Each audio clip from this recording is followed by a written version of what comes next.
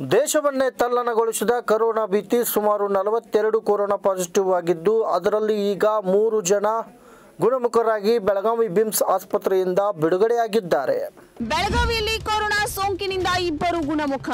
Belagavi BIMS ಆಸ್ಪತ್ರೆಯಿಂದ ಇಬ್ಬರ ಬಿಡುಗಡೆ. ಸದ್ಯ ಸಂಪೂರ್ಣವಾಗಿ ಗುಣಮುಖವಾಗಿ ಆಸ್ಪತ್ರೆಯಿಂದ ಬಿಡುಗಡೆ. ನಲವತ್ತೆರಡು ಜನ ಕೊರೋನಾ ಪಾಸಿಟಿವ್ ಕೇಸ್ನಲ್ಲಿ ಈವರೆಗೂ ಮೂರು ಗುಣಮುಖ. ಬೆಳಗಾವಿ ವೈದ್ಯಕೀಯ ವಿಜ್ಞಾನ ಸಂಸ್ಥೆಯಲ್ಲಿ ಕೋವಿಡ್ ನೈನ್ಟೀನ್ ಸಲುವಾಗಿ ಅಡ್ಮಿಟ್ ಆದಂತಹ ರೋಗಿಗಳಲ್ಲಿ ಮತ್ತೆ ಇಬ್ಬರನ್ನು ನಾವು ಇವತ್ತು ಡಿಸ್ಚಾರ್ಜ್ ಮಾಡ್ತಾ ಇದ್ದೇವೆ. ಅವರು ಎರಡು ಸ್ವ್ಯಾಬ್ ನೆಗೆಟಿವ್ ಬಂದಿದ್ದಾವೆ. Patient number one twenty eight and one forty eight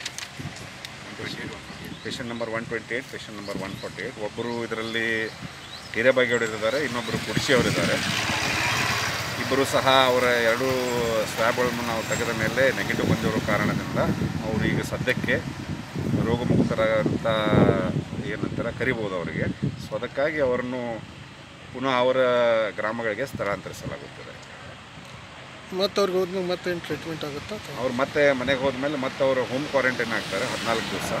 ಹದಿನಾಲ್ಕು ದಿವಸ ಹೋಮ್ ಕ್ವಾರಂಟೈನ್ ಆದಮೇಲೆ ಮತ್ತೆ ಅವ್ರು ಎಲ್ಲಿ get back to normal okay thank you sir ವೀಕ್ಷಕರೇ ನಮ್ಮ ಸತ್ಯಂ ವಾಹಿನಿಯ ಪ್ರತಿದಿನದ ಅಪ್ಡೇಟ್ ಮಾಹಿತಿಯನ್ನ ತಿಳಿದುಕೊಳ್ಳಲು ಸತ್ಯಂ ಟಿವಿ ಕನ್ನಡ ಯೂಟ್ಯೂಬ್ ಚಾನೆಲ್ಗೆ ಸಬ್ಸ್ಕ್ರೈಬ್ ಹಾಕಿ ಹಾಗೂ ಬೆಲ್ ಐಕಾನ್ ಅನ್ನು ಕ್ಲಿಕ್ ಮಾಡಿ.